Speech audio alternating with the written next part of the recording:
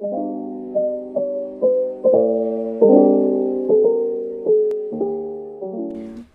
mọi người, hôm nay mình sẽ hướng dẫn làm squishy giấy đồ ăn sáng đơn giản nha. Ok thì mọi người đã thấy hai em đó rồi. Mình đã vẽ trước để đo đỡ mất thời gian. Giờ thì cùng viền lại cùng mình nha. Chúc mọi người xem video vui vẻ. Hãy nhớ đăng ký kênh và like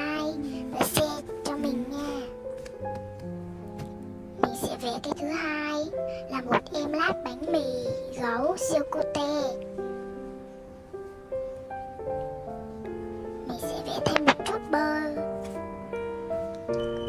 Giờ thì mình lắp bút lại và tô màu nè. Đến công đoạn này là mình thích nhất. Mọi người nhìn mình nha, hôm nay mình lại lồng tiếng. Giờ mình mới ra video được tại vì hôm nay thứ bảy chiều mình đi học. Nên hôm nay có ít môn nên mình ra. Mọi người tô như vậy, tiếp đó thì mọi người dán keo lên bề mặt em đó. Khi dán xong rồi thì dán lớp ở dưới.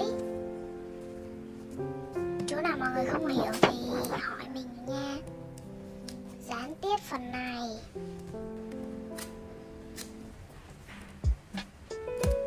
Giờ thì mọi người cắt ra nè. Mọi người cắt chừa một khoảng trắng đó mọi người, Để cho em xinh hơn. Nhưng mà em lát bánh mì này mình không cắt như vậy. Tiếp đó thì mọi người có hai mảnh như vậy, Dán phần giống mình. Mọi người dán để nhét bông hoặc bịch ly lông nha.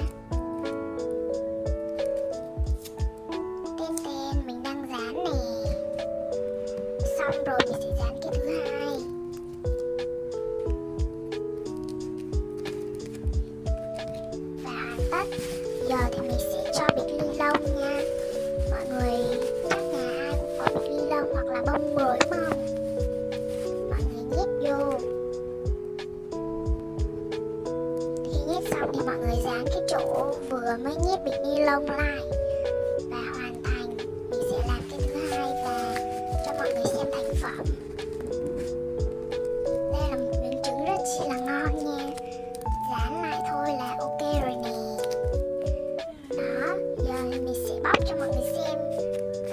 lâu luôn đó mọi người. Trong hai bé cưng xỉu. Mọi người làm thành công nha bye bye.